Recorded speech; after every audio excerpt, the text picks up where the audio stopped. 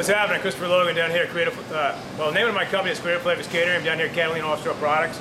I'm going to be uh, cooking up a little of a sculpin. Sculpin is uh, one of these, uh, I'm going to lift it up and be very careful. Basically, one of these misunderstood fishes. Uh, one of the things when you catch a sculpin, see that? Poisonous. You don't want to stick yourself. They got all these little, uh, like this hood with all these little pricks on it. Poisonous down here, poisonous. So basically, something you definitely want to have for dinner tonight.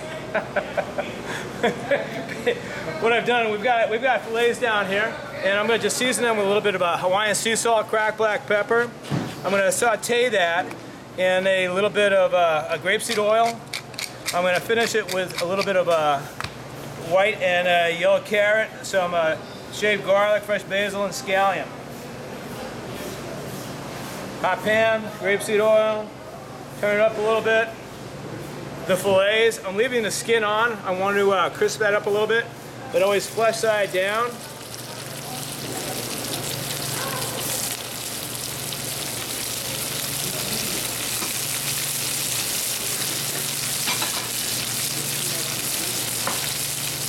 Turn it up.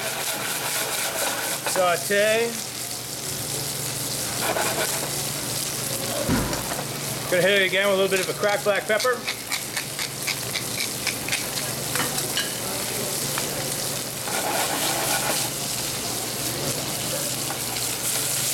We're gonna turn it, gonna crisp that skin up a little bit.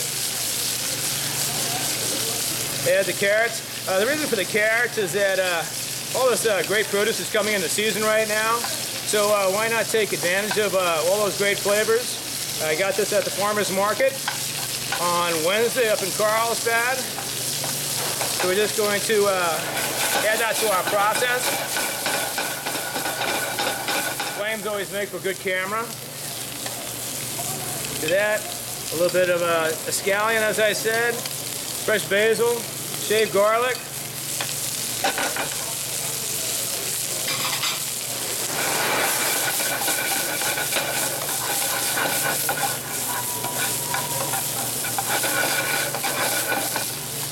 It one side.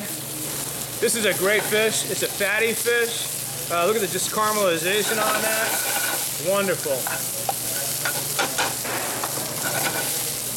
And then just kick it up a little bit.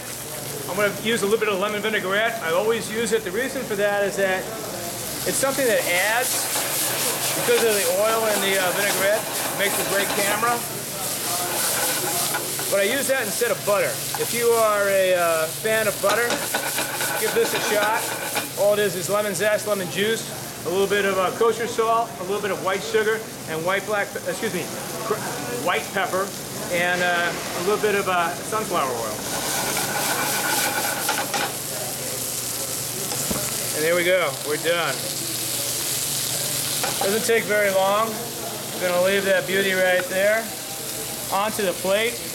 And what I'm using is uh, fresh kumquats as a garnish, a little bit of uh, cilantro, and some uh, pickled red onions.